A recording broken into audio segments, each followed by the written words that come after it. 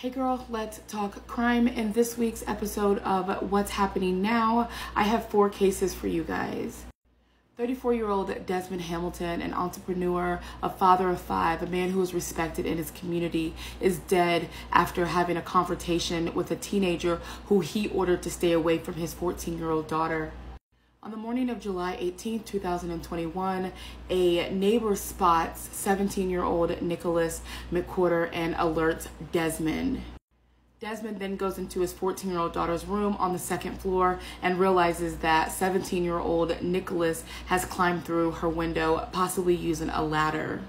So this is not the first time that he has encountered this teenager. He has ordered him to stay away previously when he has climbed into her window when they lived at an apartment complex.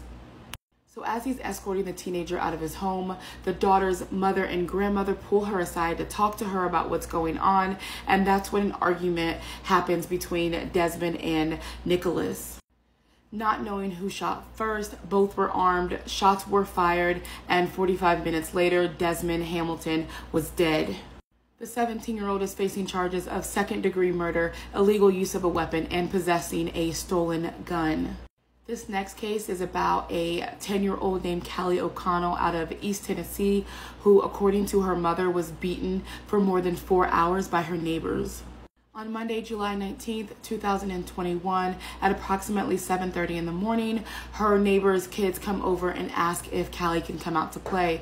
This is something that was very normal and that happened for the last 6 months. On top of the fact that they were neighbors, she didn't see anything wrong. What happened next, no mother should have to endure.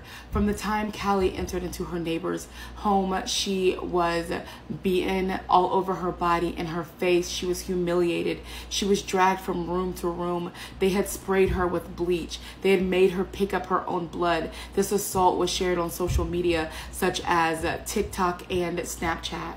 And worse, the mother recorded these teenagers doing so.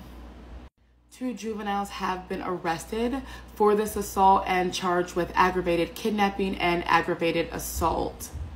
They're expected to appear in court next week.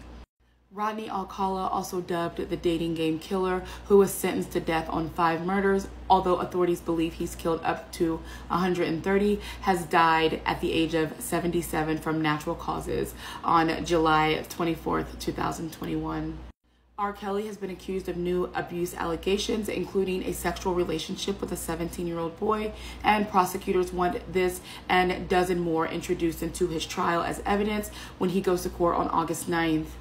If this is a case that you guys are interested in me covering, just let me know in the comments.